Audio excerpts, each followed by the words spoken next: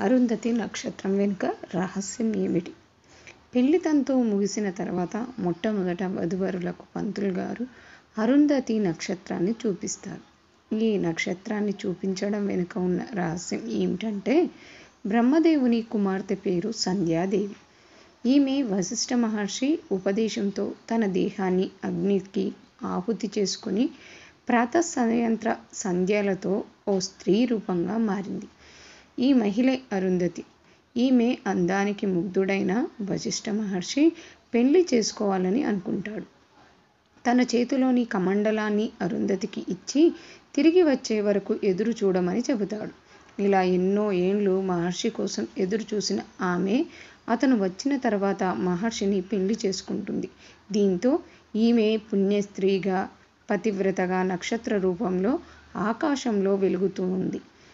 పెండ్లైన వరుడు వధువుకు ఈ నక్షత్రాన్ని చూపించడం వల్ల అరుంధతీదేవి అంతా ఓపిక సహనంతో పాటు కొత్త జంట సంతోషంగా ఉంటారని అలాగే వారి సంసారం సాఫీగా సాగుతుందని పురాణాలు చెబుతాయి. కేవలం ఈ నక్షత్రాన్నే కాదు దీంతో పాటు వశిష్ఠ నక్షత్రాన్ని కూడా దర్శించమని చెబుతూ ఉంటారు పంతులు వారు.